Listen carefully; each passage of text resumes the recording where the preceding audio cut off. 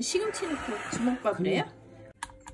근육을 도와준다 이게 근육을 튼튼하게 아, 시금치가? 시금치가 아. 그래서 볶아가지고 밥을 볶다 같이 이걸 볶고 그래서 주먹밥을 해서 먹어 아, 그런데 이제 저기 우유하고 시금치하고 사과하고 응.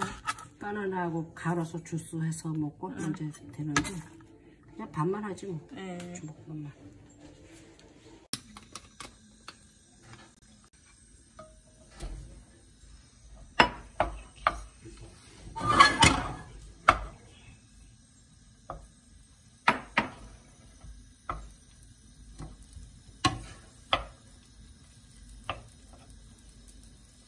소금을 조금 소금 조금.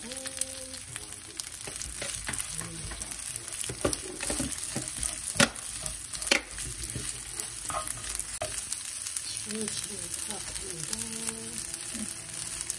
시금치.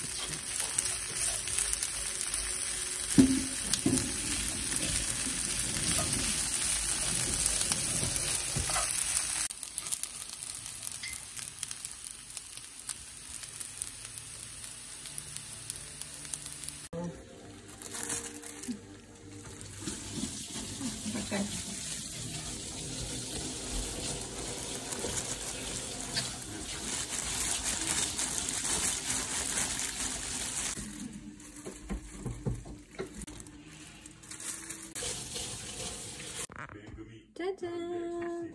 할머니가 손녀를 위해 만들어주신 시금치 주먹밥.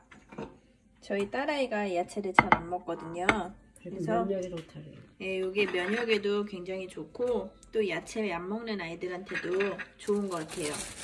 제가 한번 먹어볼게요. 아보카도 오일 넣어서 굉장히 고소하고요.